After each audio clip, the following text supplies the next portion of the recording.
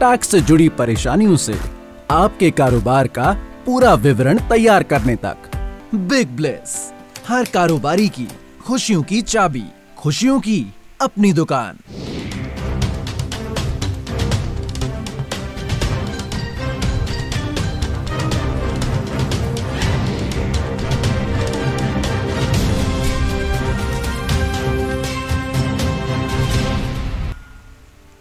सोमवार को मलेशिया में पाम तेल वायदा में जोरदार उछाल देखा गया था। दक्षिण अमेरिकी देशों में सोयाबीन का उत्पादन घटने और कनाडा में रेप सीड की फ़सल कमज़ोर बैठने की आशंका भी मलेशिया पाम तेल को अच्छा उछाल दे रही है।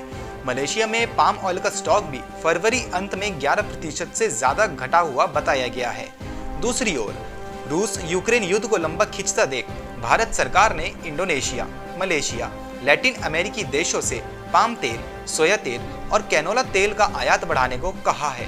हो सकता है कि एशियाई देशों से राइस ब्रांड तेल का आयात भी आने वाले दिनों में तेज़ी से हो, जो लागत में भी सस्ता होगा। सरकार कीमतों को घटाने के लिए आयात शुल्क में बदलाव पर भी सोच रही है।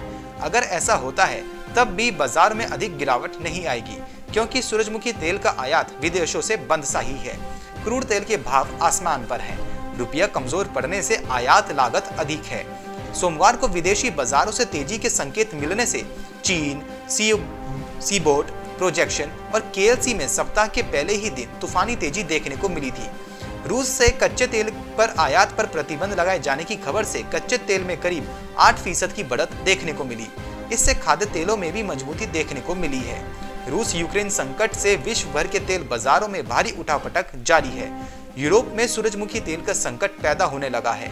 युद्ध खत्म हो भी जाता है तो भी यूक्रेन से तेल आपूर्ति शुरू होने में लंबा समय लग सकता है। घरेलू बाज़ार में ऊँचे दामों पर ग्राहकी का सपोर्ट नहीं मिलने से कीमतें मजबूती पर टिकी रही। इंदौर में सोयाबीन तेल 1550, पाम तेल इंदौर पंद्रह रुपए प्रति 10 किलो पर स्थिर रहा। हालाँकि सोमवार को केएलसी जोरदार बढ़त के साथ बंद होने से तेलों में फ़िलहाल मंदी नज़र नहीं आई। मूंगफली तेल में कामकाज सामान्य ही रहा। भाव में कोई खास परिवर्तन नहीं दिखाई दिया।